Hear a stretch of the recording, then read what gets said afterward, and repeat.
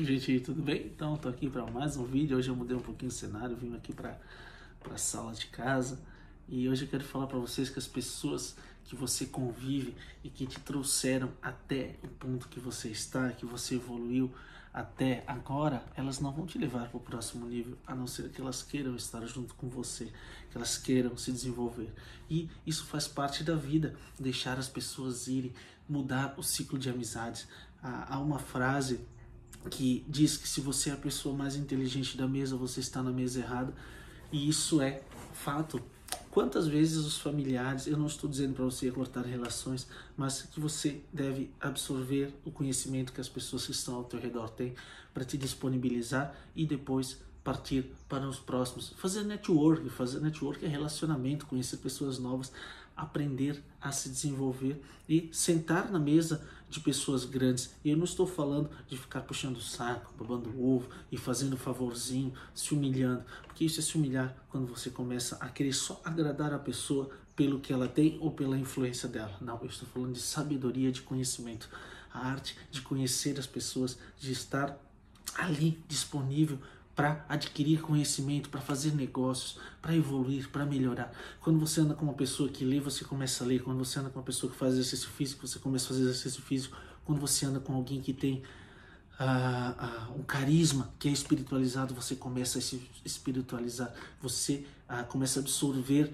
Você utiliza osmose, tanto que falam que se você andar com cinco milionários, você será o sexto, ou com cinco idiotas ou imbecis, você também será o sexto. Então a escolha é sua. Quer evoluir, quer melhorar. Então quem te trouxe até aqui, as pessoas, elas são responsáveis por esse padrão, por essa média. Se nós quisermos subir o sarrafo, melhorar, mudar, novos negócios, novas empresas, novos investimentos, novas relações, isso é importantíssimo para que nós possamos subir mais um degrau na escada da vida. E faça uma reflexão o que as pessoas ao seu redor estão fazendo nessa época de fim de ano, por exemplo. Estão todos os dias bebendo, enchendo a cara, vendo Netflix, fazendo algo, estão fazendo algo edificante, estão ajudando alguém, estão talvez vendo um vídeo edificante, talvez estejam, sei lá, lendo um livro no qual possam ano que vem mudar de vida, porque o que acontece daqui a alguns dias vai virar o ano, aí as pessoas vão lá na praia, vão pular ondas, vão fazer um milhão de promessas que no próximo ano, ou seja, daqui a algumas horas, alguns minutos, né, vai estar na, no dia 31, ali perto da meia-noite, elas vão começar uma dieta, vão começar exercício físico, vão começar a estudar uma faculdade, vão mudar de emprego, vão mudar de vida, vão ser melhores para o próximo e sempre amanhã, amanhã, amanhã, amanhã, nunca no agora. Então, quando você deixa tudo para amanhã, infelizmente a mudança não vem. Por quê? Porque a mudança tem que ser no agora, a mudança tem que ser instantânea. E as pessoas que você teve no seu trajeto, as pessoas que passaram, elas vão ser passado. E eu não estou dizendo para cortar relações. É bom dia, boa tarde, fazer aquela, se for da família, né, fazer aquele meio campo que a gente fala, aquela política da boa vizinhança.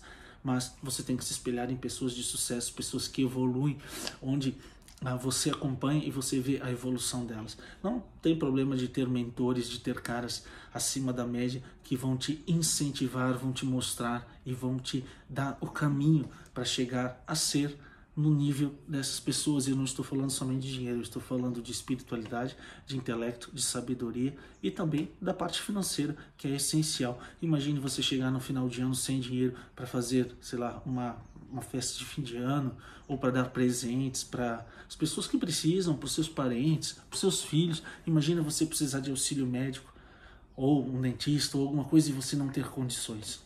Imagina? Então o dinheiro é importante sim. Quem te fala isso é porque não quer que você esteja bem. Sabe por quê? Porque as pessoas, grande parte das pessoas que estão ao seu redor, elas querem, elas querem que você esteja bem, mas não melhor do que elas. Quando você começa a apresentar algum desenvolvimento, as pessoas tendem a te boicotar, a, a falar mal, a te difamar, porque elas querem te atingir, elas querem espelhar o sentimento ruim delas por não querer fazer algo diferente.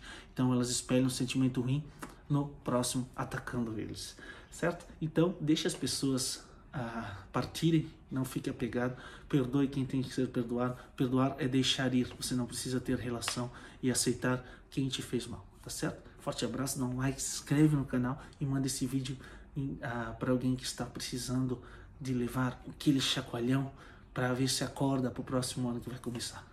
Valeu, galera.